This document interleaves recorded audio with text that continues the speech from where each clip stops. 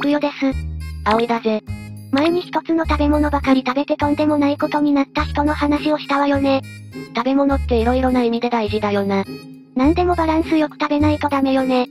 実は夏くよ、人間の体というものはとてもよくできていて必要な栄養が不足すると、何かしら SOS サインを出すものなんだ。え、そうなの？加えて現代でも栄養不足に陥っている人は意外と多いんだ。そんなまさか、この飽食の時代に。じゃあ今回は体に現れる栄養不足のサインをいくつか紹介していくぜ。そんなの信じられないわ。見逃しがちな栄養不足のサイン、一つ目はまぶたの痙攣だ。釣り糸で引っ張られてるみたいな嫌な感じのあれね。まぶたの痙攣の原因はいろいろあるんだ。栄養不足だけじゃないのね。そうだな。目の疲れ、ドライアイ、睡眠不足、カフェインの取りすぎ、過労、緊張、ストレス。まぶたの神経異常や脳の病気の可能性もある。そして脳や神経が働くために必要な栄養が、不足していることを知らせるサインでもあるんだ。なるほど。いつものことだからって放置せずに一旦冷静になった方が良さそうね。そうなんだ。しんどい、休みたい、栄養が足りてないと体から送られてくる。モールス信号みたいなものかもしれないな。そう言われるとそんな気がしてくるから不思議ね。もし痙攣が左右どちらかの下まぶたで起きているならそれは眼瞼ミオキミアという症状かもしれない。これはストレスや疲労、睡眠不足、自律神経の乱れなどが原因で起きる痙攣でビタミン B 群。特にビタミン B12 が不足している可能性が高いな。ビタミン B12 ってどんな栄養なの？血液を作るサポートをしたり神経を修復したり、神経と血液細胞を健康に保つために欠かせない成分なんだ。眼性疲労にも効果的で目の疲れに直接作用する栄養素とも言われている。まぶたのピクピクはビタミン B12 が足りてませんのサインなのかもしれないわね。そうなんだ。そしてもう一つ、両方の目に痙攣が現れ、光が眩しく感じられたり、まぶたを開けにくくなるような場合はマグネシウムが不足している可能性がある。あのウルトラマンの必殺技。それはスペシウムだ。そうだったわ。それでそのシウムはどんな栄養素なの？マグネシウムだ。マグネシウムは筋肉の収縮を助ける重要な成分なんだ。これが不足すると臓器の機能に影響が出たり筋肉が痙攣しやすくなると言われている。大事な栄養素なんだが意外と不足しがちなので注意が必要だな。世の中はこんなに食べ物で溢れ返っているのにビタミン B12 やマグネシウム不足になるのはなぜなの？ビタミン B12 やマグネシウムを含む食べ物を食べていないからだろうな。ビタミン B12 は魚や貝類、レバー、海藻類に多く含まれているし、マグネシウムは雑穀や豆類、ごま、ナッツ、海藻類に多く含まれている。どうだ、つくよは普段こういうものをよく食べているかえーと、ここのところ魚は食べてないし海藻もごまも最近食べた記憶がないわ。そんなもんだよな。ファーストフードやコンビニご飯で済ませているとビタミン B 群も、マグネシウムも不足しがちになる。こういう栄養素は意識して食べないと取れないものなんだ。うわぁこれは盲点だったわ。お腹いっぱいになればいいってもんじゃないのね。二つ目は髪が細くなるだ。それって要するに髪に必要な栄養が足りなくなってるってことなのそういうことだ。つくよは髪の毛が何でできてるか知ってるか何って髪は女の命でできてるのよ。違う。髪の主成分はケラチンというタンパク質の一種だ。ケラチンケラチンはシスチンというアミノ酸を多く含んでいる。シスチンシスチンには髪に程よい硬さやしなやかさを出す役割がある。だからケラチンを多く含む毛髪は、張りがあって美しいんだ。そしてもう一つビオチンの不足にも気をつけたいところだな。今度はビオチン、なんなのその幼馴染のニックネームみたいなネーミングは。そういう名前なんだからしょうがないだろう。ビオチンはビタミン B 群の一種で、ビタミン B7 とも呼ばれている成分で皮膚や粘膜を健康に保ち髪や爪を維持する役割があるんだ。なるほど。さらにビオチンは毛細血管の血流を促しケラチンの合成を助ける仕事も請け負っている。だからビオチンが不足するとケラチンも不足してしまうし、頭皮の血流も悪くなって髪の元気がなくなっていくんだ。チン酸兄弟はどんな食べ物に含まれているの？チン酸兄弟。ケラチン、シスチン、ビオチンのチン酸兄弟よ。ああなるほどそういうことか。つくよちゃん、うまく言えたでしょ？えらいえらい。ケラチンやシスチンは肉や卵、大豆やブロッコリーに多く含まれている。ビオチンを多く含む食べ物はレバー、卵黄、貝類、キノコ類だな。肉や卵はよく食べてるからチン酸兄弟が不足することはなさそうだわ。さらにビオチンは食べ物だけでなく腸内で善玉菌たちによって作り出されるものでもあるんだ。だから腸内環境が悪くなるとビオチンの合成量が減って髪にも影響が出ると考えられている。最近腸内環境ってよく聞くけど便秘解消だけじゃないのね。三つ目は爪が割れるだ。爪を剥がされるんじゃなくて自然に剥がれるってこと？爪を剥がされるってどういう状況だよ？落とし前的な話じゃないのね。だから何の話だよ？爪の表面がボロボロになったり剥がれたりしやすくなることがあるだろう。爪も皮膚の一部なので傷ついたり乾燥したりすることで傷んでしまうものなんだ。爪がボロボロじゃネイルも楽しめないわ。今言ったように爪が剥がれやすくなる原因は大きく分けると3つある。外的衝撃と乾燥、そして栄養不足だ。外的衝撃ってつまり爪を剥がされるってことよね。その話やめろって。原因は様々だが爪を守るためには乾燥を防ぎ栄養を補ってやる必要があるんだ。爪にはどんな栄養が必要なの？皮膚や髪に必要な栄養とほぼ同じと考えていいだろう。タンパク質、ビタミン、ミネラルなどは、肌に欠かせない栄養素だな。ちなみにさっき出てきたマグネシウムは体に必要な必須ミネラルの一種とされている。必須ミネラル？微量ながら体を維持するために必要不可欠な成分のことだ。ナトリウム、カリウム、カルシウム、マグネシウム、リン、鉄、亜鉛、銅、などなどだな。なるほど。これらの成分は体内に蓄えている量がそもそも少ないので、足りなくなると心臓や血管など、重要なところに回されてしまい、髪や皮膚は後回しにされて荒れやすくなると考えられているんだ。苦しむのはいつだって末端の庶民なのよ。だから普段からミネラル成分を多く含む食べ物をバランスよく食べておく必要があるんだ。中でも爪のために特に重要なのは亜鉛だな。志村けんさんのあの伝説の。それはいいんだろ。亜鉛はタンパク質の合成に欠かせない材料で、髪や肌の健康維持はもちろんのこと。代謝をアップしたり体の錆びつきを抑える効果があるんだ。逆に亜鉛が不足すると免疫力が下がって、病気にかかりやすくなったり味覚障害を引き起こすこともある。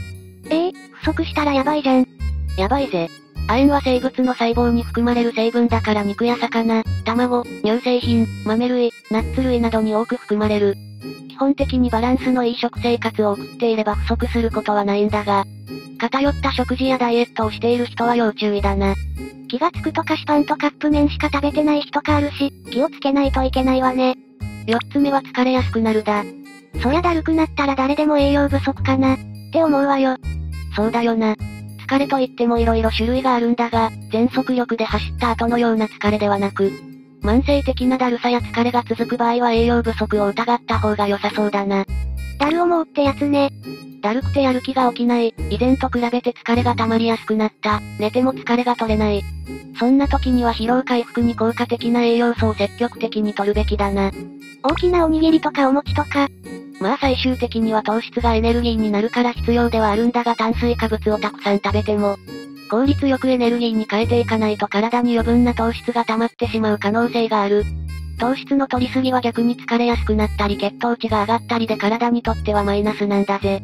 ええー、そうなの？そこで積極的に取りたいのがビタミン B1 だ。ビタミン B1 は糖質をエネルギーに変える働きがあるので疲労回復にも効果的なんだ。おにぎりだけ食べてもダメなのね。そうだな。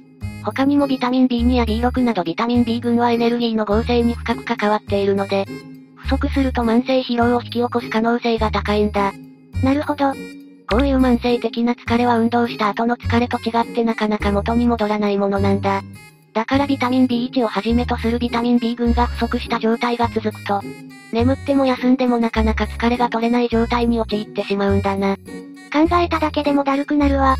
慢性的な疲れが溜まると食欲も落ちるし、栄養をしっかり取りたくても、それに脳や神経も糖質をエネルギー源にしている。ビタミン B1 が不足すると集中力が低下したり、イライラしたり物忘れがひどくなったりする可能性があるんだ。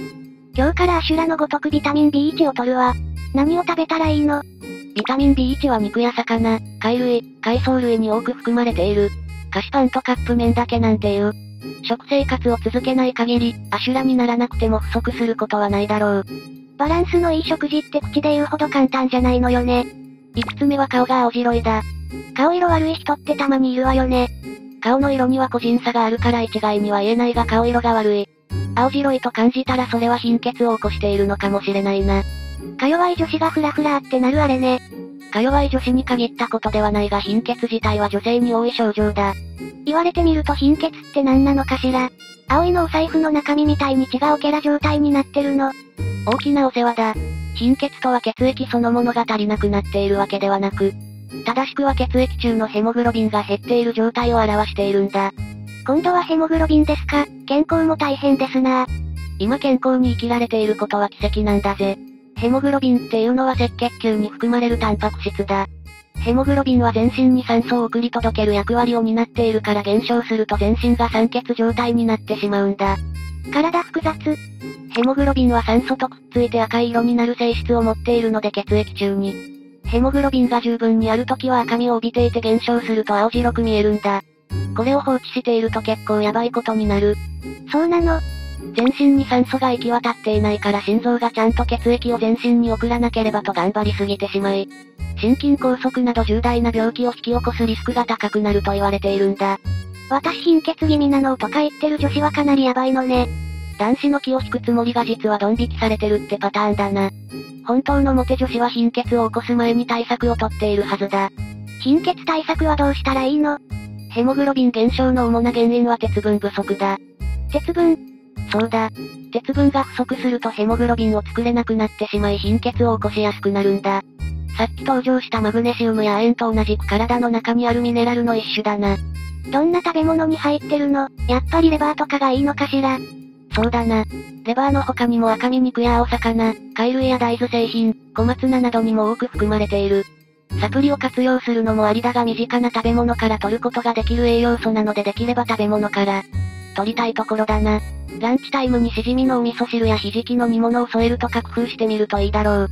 毎日コツコツ取ることが大事なのよね。6つ目は顔の赤み、テカリだ。顔テカってる人って結構いるけどあれってやばいの。まあこれも個人差があるものだが顔の赤みやテカリは肌の SOS サインである可能性が高いんだ。そうなの肌のテカテカの原因は皮脂だ。肌は乾燥して潤いを失うとそれ以上水分を失わないように、皮脂を分泌してバリアを張ろうとするんだ。それがテカリの原因なのね。そうだ。だから洗いすぎも良くない。顔をゴシゴシ洗いすぎると肌がどんどん皮脂を出して、余計にテカってしまうこともあるんだ。洗っても洗っても顔がテカるという人は洗顔の仕方を見直してみるといいかもしれないな。過ぎたるはなんとやらね。そうだな。そして肌が乾燥して皮脂が余分に分泌される原因には栄養不足も考えられるんだ。何が足りないの？まずビタミン B2 と B6 だな。この2つは脂質をエネルギーに変えたり消化するときに必要な栄養素だ。不足すると皮脂の分泌がうまくいかなくなり顔の赤みやテカリを悪化させてしまうんだ。ビタミン B 群は超大事ね。ビタミン B にはレバーやウナギ、卵、海藻類、アーモンドなどに多く含まれている。ビタミン B6 はマグロやカツオ、レバー、ニンニク、ピスタチオに多い。量的に見て海藻類や、ニンニクを大量に食べるのは難しいと思うので、肉や魚、卵を毎日バランスよく食べるのが理想だろうな。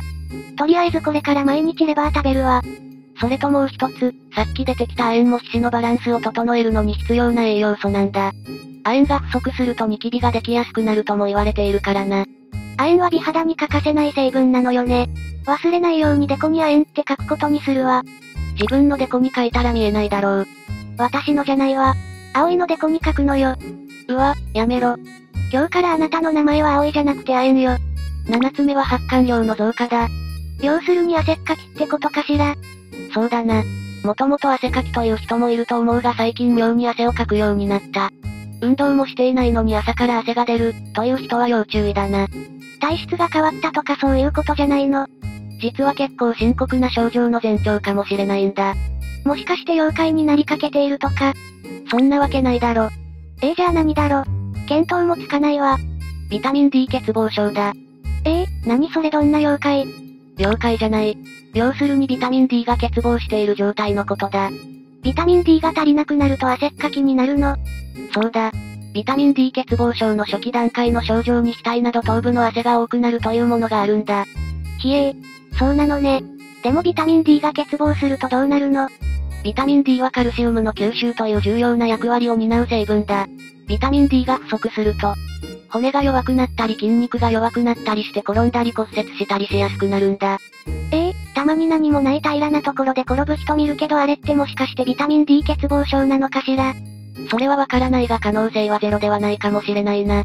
実は最近ビタミン D 不足に悩む人が増えていると言われているんだ。どうしてなの？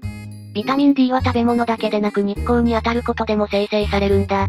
ここのところ外出自粛の影響で在宅勤務になり日中全く外に出なくなったという人も多いよな。ああ、確かにそうね。それに夏場は全身日焼け止めを塗って日傘を差し日陰を渡り歩くという人も多いだろう。紫外線の浴びすぎは皮膚に悪影響だが、日光を全く浴びない生活もビタミン D 不足を引き起こす可能性があるので要注意だな。骨が弱くなるのは避けたいわ。どうしたらいいの？まずは食べ物だな。ビタミン D を多く含む食べ物といえば魚介類、卵、乳製品、キノコ類などが挙げられる。油と一緒に摂取すると吸収率が上がるのでキノコは炒め物にするのがおすすめだな。酒とキノコのバターソテーとか良さそうね。それから1日10分程度でいいから腕だけでも日光に当たった方がいい。頭や顔はしっかり保護して近所を少し散歩するとか、日の光を浴びる習慣をつけるといいだろう。巣ごもり生活が骨や筋肉に影響するなんて人間の体ってほんと不思議よね。8つ目は筋肉痛だ。筋肉痛は筋肉痛でしょう。栄養関係あるの。実は筋肉痛がなぜ起きるのか詳しいことはまだよくわかっていないんだ。ええそうなの？一般的には運動した時に生じる乳酸という物質が影響しているのではないかと言われていたんだが、最近では乳酸は関係ないんじゃないか、という説も出てきているんだ。ものすごく身近な症状なのに解明されていないなんて、もしかして気のせいなのかしら？いやでも実際運動した翌日とか痛くなるよな。私は3日後くらいに痛くなるわ。若いのに老化進んでんな。最近では運動によって傷ついて炎症を起こした筋肉の繊維を修復するときに、起きる痛みかもという説が濃厚になってきている。つまり筋肉にいい栄養を取れば筋肉痛の治りも早くなるかもってこと？簡単に言うとそういうことだな。筋肉の発育に必要な栄養が不足していると、筋肉痛が起きやすく長引きやすくなる可能性は十分考えられるからな。どんな栄養がおすすめなの？筋肉の機能維持に不可欠な栄養といえばビタミン C だ。ビタミン C? へえなんだか意外だわ。ビタミン C は皮膚や骨、血管などを維持するのに欠かせないコラーゲンという物質を作るのに、必要不可欠な栄養素なんだ。もちろん筋肉の生成にも大いに関係がある。ビタミン C が不足するとコラーゲンが作られなくなってしまうの。そうなんだ。それにビタミン C には老化を抑制する抗酸化作用という効果も期待できる。ビタミン C が不足すると老化が早まるとも言われているんだ。ええー、大変。ビタミン C 取らなきゃ。ビタミン C といえばレモンやみかんを思い浮かべる人が多いと思うが、芋類やブロッコリー、キャベツもビタミン C が豊富だ。ただビタミン C は熱に弱いのでなるべく加熱しないで食べた方が効率がいい。毎日何かしら果物を食べる習慣を身につけておくと筋肉痛対策になるかもしれないな。よかった。さつまいもを生のまま食べるのはちょっと抵抗があるもの。9つ目は二の腕のブツブツだ。そういえば時々二の腕がザラザラしてることがあるわ。あれって何なの？二の腕のブツブツの正体は毛穴に溜まった古い角質なんだ。角質肌は通常1ヶ月くらいの周期で生まれ変わるものなんだ。これをターンオーバーと呼んでいる。化粧品の CM とかで聞いたことあるわ。一番表面の古い皮膚は押し出されるようにして自然と剥がれていくものなんだが、これが何らかの理由でうまくいかなくなることがある。剥がれ落ちずに残ってしまった表面の古い皮膚。つまり角質が毛穴に詰まってできるのがあのブツブツなんだ。毛穴詰まりなのね。でもどうしてターンオーバーがうまくいかなくなるの？原因はいろいろ考えられるんだが、栄養が不足していて肌の代謝が悪くなっている可能性が高い。ブツブツの正体は古い角質だから肌の代謝を促してしっかりターンオーバーさせることが大事だな。どんな栄養が欠けてるの？ビタミン A だ。ビタミン A には細胞のターンオーバーを促進する効果があるんだぜ。ズバリそのものじゃない。そうだな。ビタミン A が不足すると肌のくすみやごわつき、小じわなど肌トラブルが増えると言われている。美肌のためにもビタミン A はしっかりとっておきたいよな。どんな食べ物に含まれているの？レバーやうなぎ、卵、ほうれん草や人参、モロヘイヤにもたっぷり含まれている。レバーってすごいのね。境界筋症じゃない。他にも魚介類や海藻類もビタミン A を多く含んでいる。レバーばかり食べるわけにもいかないと思うので、いろいろバランスよく食べるようにするといいだろう。美しい二の腕を保つためにもバランス重視で頑張るわ。ラストは気分の落ち込みだ。メンタル的なことにも栄養が関係しているの。そうだ。気分の落ち込みには神経伝達物質と呼ばれるものが大きく関係してくるんだ。脳の中でバケツリレーみたいなことが起きてるの。そんな感じだな。人間の脳はたくさんの細胞でできていて、細胞たちはホルモンを飛ばし合って、メッセージを伝え合い、脳の状態をコントロールしているんだ。ホルモン。例えばセロトニンは幸福感や落ち着き、ドーパミンはワクワク感、ノルアドレナリンは集中力といった具合に、様々な物質をやり取りしながら様々な感情を生み出している。そしてこうした神経伝達物質も全て栄養成分によって作られるんだ。じゃあセロトニンの元になる栄養が不足すると幸福感を感じなくなってしまうのそういうことだ。それで気分が落ち込んだり不安を感じたりするようになってしまうんだ。セロトニンを作るにはどういう栄養を取ったらいいの？主な材料はビタミン B 群とトリプトファンだ。あの恐竜の。それはトリケラトプスだろ。トリプトファンはアミノ酸の一種でセロトニンの原料になる成分だ。バナナや乳製品、大豆製品、ごま、卵にも多く含まれているぜ。ビタミン B6 は、肉や魚、レバー、バナナがおすすめだ。セロトニン対策にはバナナがベストだな。確かにバナナを食べると幸せな気分になるわ。バナナは幸せの源だな。庭にバナナの木を植えることとします。はい、というわけで今回は栄養不足のサインについて解説してきたぜ。ものすごく勉強になったわ。それは何よりだ。体のサインに早く気づいて栄養不足にならないよう心がけたいよな。今日から菓子パンとカップ麺の組み合わせにレバーとバナナを追加するわ。菓子パンとカップ麺を控えた方が手っ取り早いぞ。それを言っちゃおしまいよ。じゃあ次に食べ物が起こしたヤバすぎる事故を紹介しようかな。焼き魚で大やけど、なかなか興味深いわね。というわけで、ご視聴ありがとうございました。